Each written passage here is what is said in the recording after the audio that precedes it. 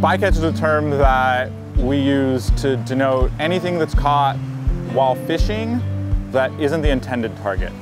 So there's multiple types of bycatch. There's bycatch that's marketed. So those are species that, you know, we didn't set out to catch, but they're still good to eat and they still fetch a good price at market. And then there's the more negative type of bycatch, which is, you know, stuff that isn't marketed or it's discarded at sea. Whenever you go out fishing and you put a net or a hook or a trap in the water, you almost always catch a species that you uh, were not trying to catch.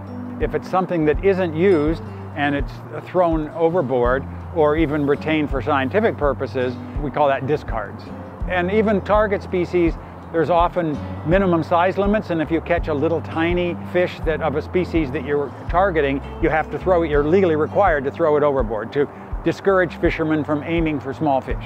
Those are called regulatory discards you often catch many species that have some kind of commercial value. And so you keep them even if they aren't necessarily your principal target species. Globally, the amount of bycatch has declined a lot. The biggest factor in that has been increasing use of species that used to be discarded.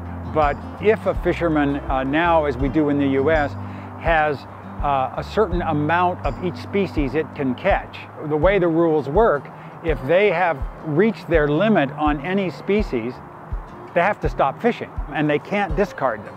So to them, they are bycatch. They don't want to catch them and they go out of their way to fish in places where they're not going to catch those, uh, those species, even though they're commercially valuable.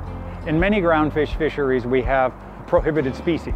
Species of concern like, let's say, salmon or certainly in Alaska, halibut. The bottom uh, trawl fishermen are not allowed to retain those species. So they have to discard it, or in the case of salmon, uh, they now are allowed to retain it and donate it to a food bank.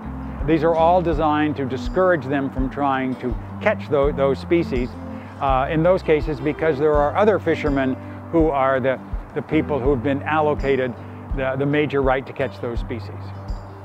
And because of these regulations of not catching different things, we've had to change the way the gear actually operates. So there's been a lot of work on excluders, whether it's a halibut excluder for the bottom net, whether it's a salmon excluder for the bottom net.